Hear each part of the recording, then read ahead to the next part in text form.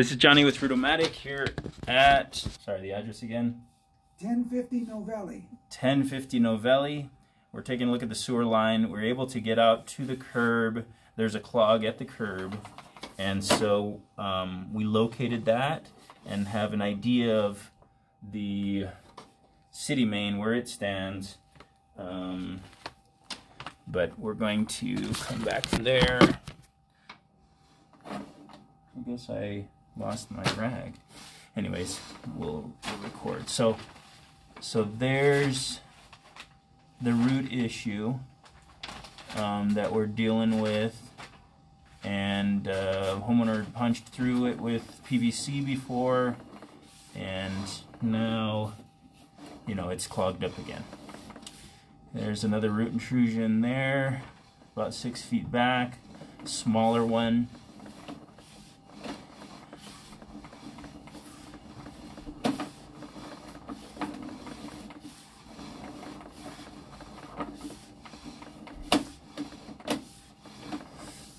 And this is all Orangeburg pipe, and that uh, you can see that PVC in the middle.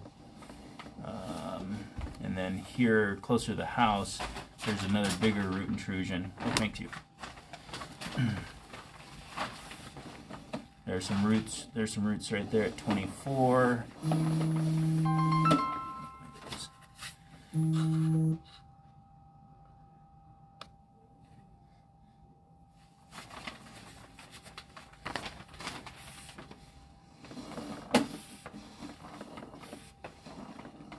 And then here's the bigger root ball close to the house here.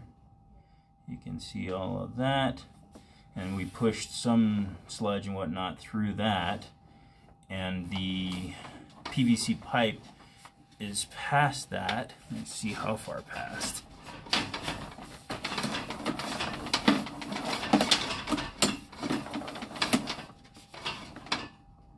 Oh, that's the, that's the end of the PVC right there. So it's about five feet past the edge of the house, would be my guess. Anyways, we got this bigger root ball next to the house, and and then we've got cast iron. That's how you see the reddish color.